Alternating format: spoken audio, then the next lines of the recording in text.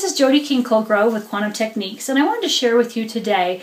Um, we've done a little bit of talks about um, breast health um, that Beth has done with Quantum Techniques, and I wanted to share you, with you today about fibroids. A lot of times when you go to your um, health practitioner, they will find that, oh, you've got some fibroids in your breasts.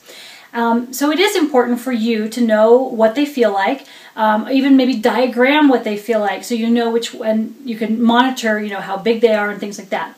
Um, and it's important to do that a couple days after your period. But another thing that I want you to be aware of with fibroids is that a lot of times they're um, lumps and bumps because they are holding emotional issues that maybe you are holding on to or not dealing with or not letting go.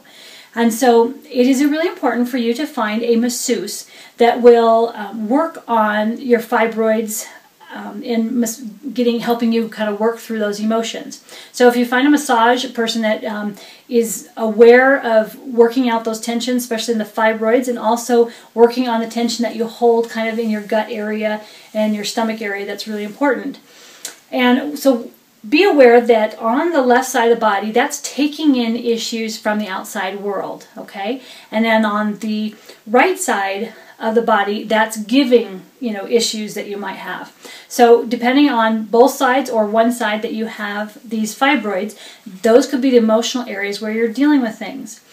And so um, it's just aware, we talk about being mindfulness, but it's being aware of what you're dealing with internally externally with emotions and maybe not letting go. And so, as the masseuse is working on those um, bumps and things like that, as he mo moves those out of the body, you can be aware of letting those issues go. So, it's really important that you find a masseuse that um, can do that for you, and that's a great way of being able to have really good breast health and moving those issues out of your body so they're no longer stuck. So, just wanted to share that great ideas with you and. Um, you can log on to quantumtechniques.com and watch more of these great videos on how to get your health back.